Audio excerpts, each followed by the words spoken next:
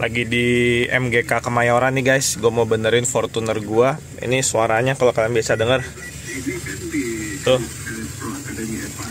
Udah kresek-kresek gitu. Terus speaker depannya tuh udah pada rusak tuh. Udah jebol udah pada pecah gitu. Sekalian gue mau benerin fog lightnya nih. Fog lightnya juga udah pada mati. Kayaknya gue mau pasang mini Pro G deh. Sekalian pasang mini Pro G terus ngerapiin audionya.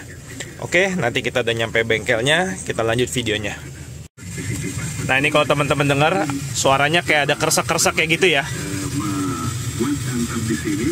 Ya nggak enak banget. Terus nih lucunya kalau gue nyalain lampu dia mati. Tuh ya. Masih ada sedikit sih suara kersek-kerseknya tapi nggak separah kalau lampunya gue matiin nih nih ini gue matiin lampunya. Berisik banget ya kersek-kerseknya nah ini lampunya gue nyalain lagi. Tuh hilang. Nih gue matiin lagi. Ya jadi rusak nih audionya. Makanya gue mau benerin di MGK Kemayoran nih. Nah terus gue mau benerin fog lightnya nih teman-teman. Ya fog lightnya itu udah nggak nyala. Tuh ya. Tuh lihat di pantulan kaca ya. Ini kan lampu gedenya. Nah ini fog lightnya nih udah nggak nyala tuh. Kalau lihat di pantulan kacanya mati kan nggak ada. Nah ini mau gue benerin nih. Nah ini lagi di MGK Kemayoran nih langganan gue berkah Auto lantai 6 MGK Kemayoran guys. Nah ini banyak lampu-lampu di sini ya lampu-lampu fog light, ada mini Pro G, terus ada audio nih di sini. Jadi mungkin ini mau gue ganti nih lampu fog lightnya ini udah mati ya gue ganti. Ini sih gue kemarin gue pakai HID, cuman udah rusak mati. Terus paling nanti tambahin mini Pro G taruh di sini. Sekarang kan lagi ngetren ya Fortuner pakai Mini Pro G ya guys ya.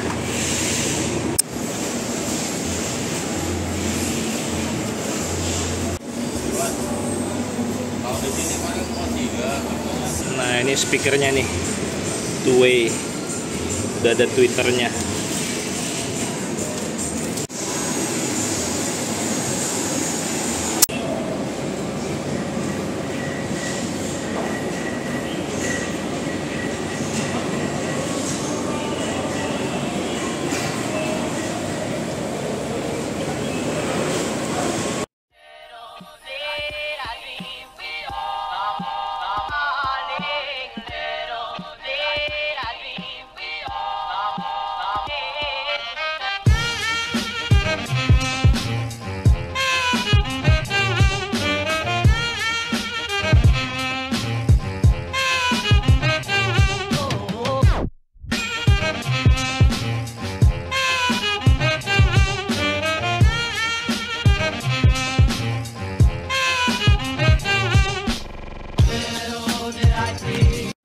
Oke okay guys, jadi kita udah selesai nih benerin Fortunernya. Sekarang lampu depannya udah terang banget, udah enak. Karena ini kan Fortuner gue lampunya masih halogen ya guys ya. Jadi itu gelap gitu loh. Ya teknologi zaman dulu tuh uh, pakai bawah lampu halogen ini gelap. Ya jadi sekarang dengan ditambahkan uh, mini Pro G kayak gini jadi terang banget ya guys ya. Jadi emang sekarang teknologi lampu LED itu bagus banget karena dia cahayanya tuh bener-bener uh, terang dan padat ya guys ya. Jadi uh, kalau malam-malam tuh kita nyetir di kegelapan ya kegelapan malam itu jadi lebih terang dan lebih aman jadi ya guys karena jalanan tuh kelihatan lebih bagus ya. Ini juga kemarin uh, lampu fog lightnya yang rusak kemarin gue pakai HID juga udah dibenerin ya kiri kanan. Udah kita ganti pakai lampu uh, LED jadi udah enak nih sekarang Nah jadi ini mini Pro G-nya gini aja masangnya. Jadi ini rangkanya tuh dibaut ke dalam rangka mobil ya. Jadi dia kuat ya teman-teman ya. Tuh dia nggak goyang-goyang. Sama sebelah sini juga tuh Ya. Dia jadi dibaut di rangka mobil nih teman-teman. Jadi kenceng dia. Ini gue belinya yang mini Pro G-nya yang mata 3 Ini kemarin kena 1.400 ya. Jadi ini kalau nyala warna putih Nah, kalau kita high beam dia warna kuning teman-teman. Jadi dia kalau nyala pertama dia warnanya putih. Uh, kalau kita high beam dia berubah jadi kuning. Jadi gue taruh di bumper aja kayak gini. Ya, gue taruh di bumper aja di bawah kayak gini. Jadi nggak gitu kelihatan ya teman-teman ya. Nah kalau dari jauh juga kelihatannya jadi kayak gini. rapi jadi ya teman-teman oke lanjut sekarang ke bagian dalam kemarin juga gue benerin speakernya nih teman-teman. Jadi awalnya sih kan gue mau ganti speaker depannya ya karena bunyi kersek-kersek itu. Ya tapi nggak taunya pas dicek speakernya masih bagus ya. Speaker depan belakangnya tuh masih bagus. Ya jadi abis dicek tuh speaker depan belakangnya masih bagus cuman twitternya nih. Akhirnya kita cuman ganti twitternya nih teman-teman. Karena uh, twitternya tuh udah nggak bunyi ya udah rusak. Kemarin kalau kalian lihat juga uh, twitternya tuh udah penyok gitu ya jadi ini kita ganti kiri kanan. Nih ya. Ini twitternya kena 250.000 nih kemarin. Jadi kita ganti twitternya aja. Nah terus ini nih. Jadi uh, mini projinya itu uh, gue tambahin saklar di sini. Jadi ini kalau kita pencet dia nyala. Ya nah ini juga eh, gue bikin lampu kolong nih teman-teman. Ya jadi gue kemarin tambahin lampu kolong. Ini gue kasih saklar nih teman-teman. Ntar gue nyalain dulu ya biar nggak tekor akinya nah kayak gini. Nah ini untuk mini projinya. Kalau kita nyalain kita pencet aja gitu. Nah dia nyala. Nah itu. Ya udah nyala. Cahayanya warna putih. Kayak gini tuh ya. Oke nah terus sama lampu kolong nih. Gue tambahin lampu kolong teman-teman. Nah tuh gue tambahin lampu kolong gitu. Ya warna warm white. Jadi uh, biar modern aja interior mobilnya karena sekarang kan interior mobil tuh uh, ini ya banyak pakai ambient light gitu ya teman-teman ya. Nah sorry guys, jadi gue masuk ke parkiran basement mau kasih lihat ambient lightnya. Jadi kalau di depan kan tadi kena cahaya matahari, jadi ambient lightnya nggak gitu kelihatan ya, karena di depan terang banget cahaya cahaya mataharinya. Nah sekarang makanya gue masuk ke parkiran basement biar agak gelap sedikit jadi biar kelihatan nih ambient slide-nya. Mohon maaf ya kalau videonya agak gelap sedikit. Nah jadi kayak gini nih ambient slide-nya nih teman-teman. Ya sekarang lebih kelihatan ya warnanya.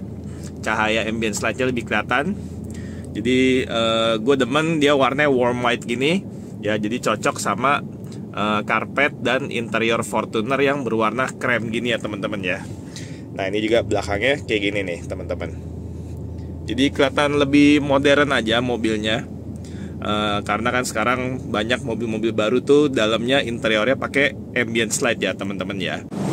Nah jadi kayak gini teman-teman dari depan lampunya kalau lagi nyala semua ya teman-teman ya. Jadi ini lampu fog lightnya yang gue ganti pakai LED. Terus ini dua uh, mini proji yang gue pasang baru nih teman-teman.